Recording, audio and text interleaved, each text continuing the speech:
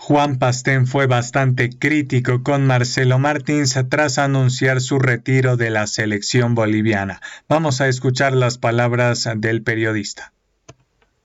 Martín, hay que decir un par de cosas. Primero que si él el sábado no jugó, debió haber venido en la noche porque hay combinaciones aéreas que lo hubieran puesto en la ciudad de La Paz, que a las 2 de la mañana el domingo muy temprano.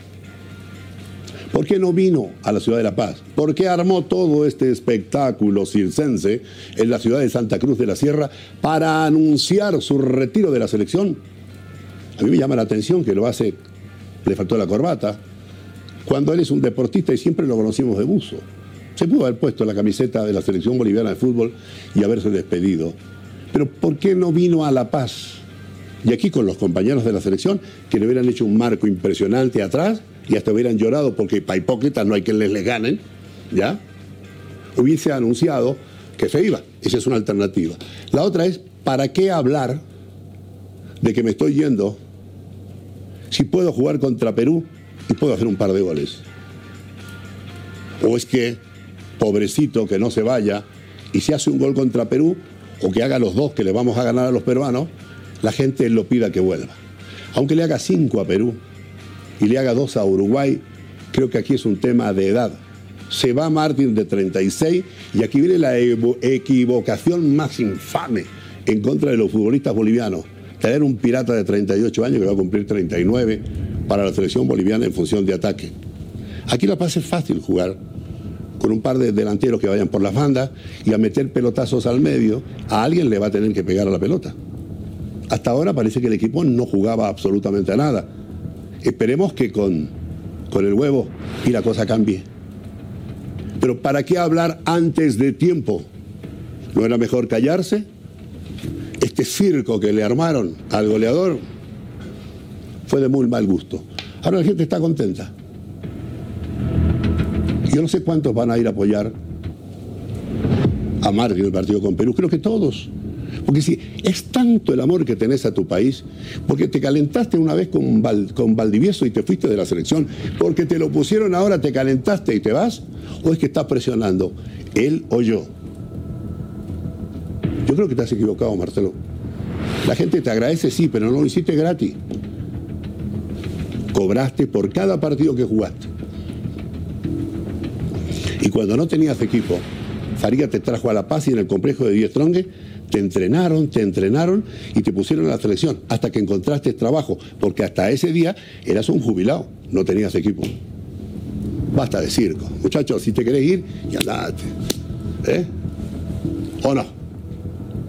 Acabamos de escuchar que Juan Pastén le dijo a Marcelo Martins que acaba de hacer un circo de muy mal gusto. Ahora, estas declaraciones, esta opinión de Juan Pastén ¿Realmente es la verdadera opinión de Juan Pastén? ¿O quién está detrás de toda esta situación? Porque en este momento Juan Pastén es el periodista deportivo más importante de nuestro país, al menos a nivel individual. ¿Quién fue el primero que anunció que Sago sería técnico de la selección boliviana? Juan Pastén. Sí, muchos decían se va a ir Gustavo Costas, pero el primero en dar el nombre de Carlos Sago fue Juan Pastén. ¿Quién fue el primer periodista en anunciar que Tigo Sports tendría todo los partidos de la selección boliviana en las eliminatorias. Juan Pastén. Una noticia que parecía completamente imposible de creer porque parecía que la federación continuaría con su experimento de, de la plataforma fútbol.bo y un día antes de que se haga oficial de que Tigo Sports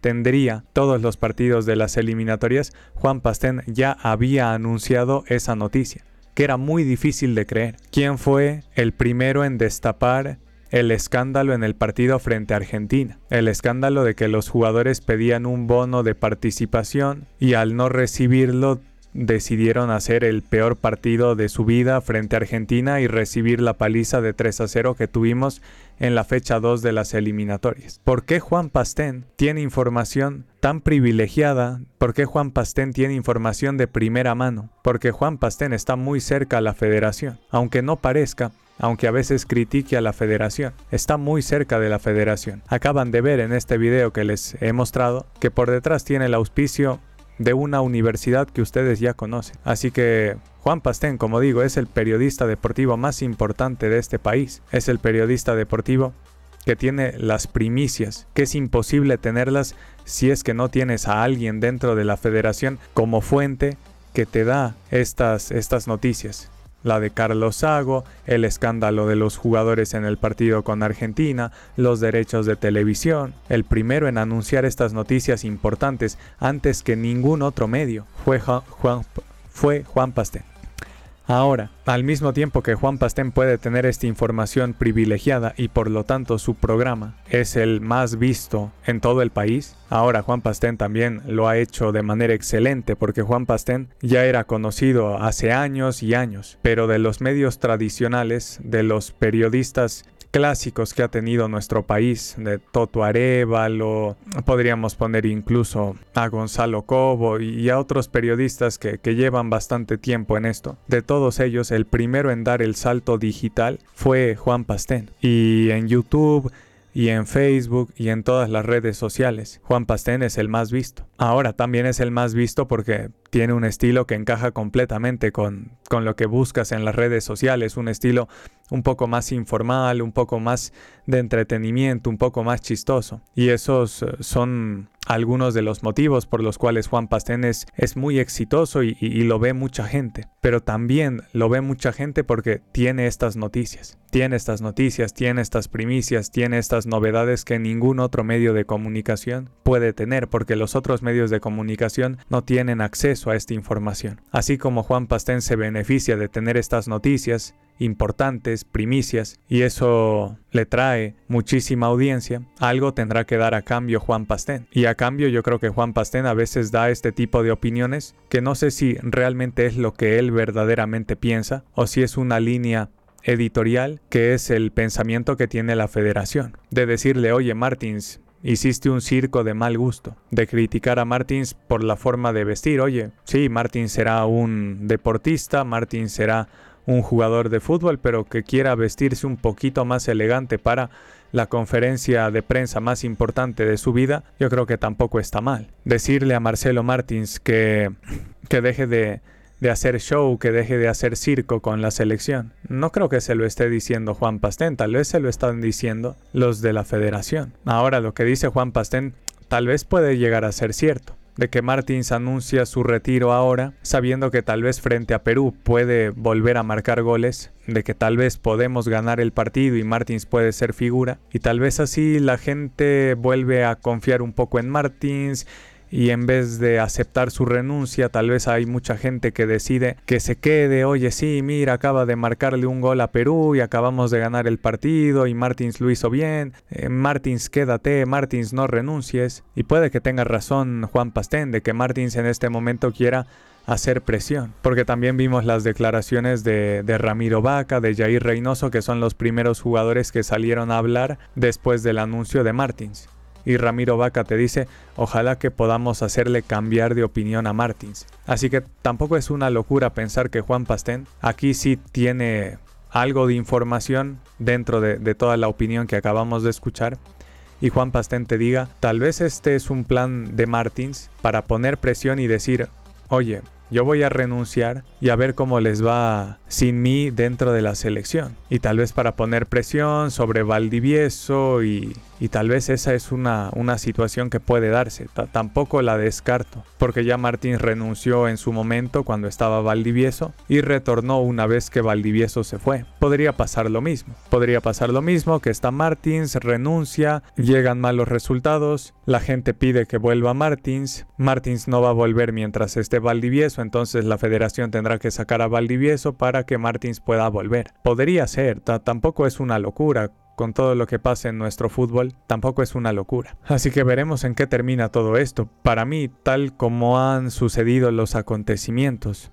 debería ser un adiós ya definitivo. Gracias por todo, lo he dado todo. Yo confío en que Martins cumpla su palabra. Hiciste una rueda de prensa, me parece muy bien. Y, me parece lógico que lo haga en Santa Cruz, porque en Santa Cruz los medios de comunicación deportivos que hoy estuvieron presentes no están tan condicionados ni están tan presionados por la federación. Si tú hacías esa rueda de prensa en La Paz, seguramente te habrían cuestionado, te habrían preguntado cosas un poco más personales, mientras que en Santa Cruz, estando en su en su campo, estando en condición de local, vamos a decir, a Martins tampoco se, se lo cuestionó demasiado. Y Martins seguramente en estos próximos días no creo que vaya a dar declaraciones. Lo que sí yo pediría a Martins es que cumpla su palabra y y que sea un adiós definitivo. Gracias por todo, lo has dejado todo como tú lo dijiste en la rueda de prensa y ahí, ahí, ahí se acaba esta, esta relación tan bonita de muchos años, de muchos goles, de muchas alegrías, de muchos récords, máximos partidos jugados, máximo goleador histórico de la selección, tercer máximo goleador histórico de las eliminatorias,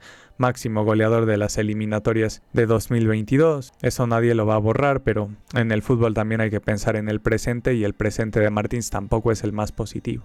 Así que ojalá que, que cumpla con su palabra renuncio, a nivel deportivo ya no estoy en mi mejor nivel, a nivel de todo lo que pasa dentro de la selección, con Valdivieso, con los dirigentes. Es mejor renunciar para no ser un problema, para no ser motivo de división dentro del vestuario o división entre jugadores y dirigentes. Y ojalá que Martins cumpla con su palabra, renuncio, renuncio de manera definitiva, porque es lo mejor, como decía, en el anterior video. Yo les decía es lo mejor a nivel deportivo, a nivel de grupo, es lo mejor. Hagámosle una despedida como se merece, eh, hagámosle un homenaje, le, le daremos la polera de los 107 partidos jugados, una camiseta que diga máximo goleador de las eliminatorias, una camiseta que diga eh, tercer máximo goleador histórico de todas las eliminatorias, máximo goleador histórico de Bolivia. Hagámosle un homenaje como se merece antes del inicio del partido con Perú y, y que se retire por la puerta grande y que sea de manera definitiva. Ojalá que eso suceda porque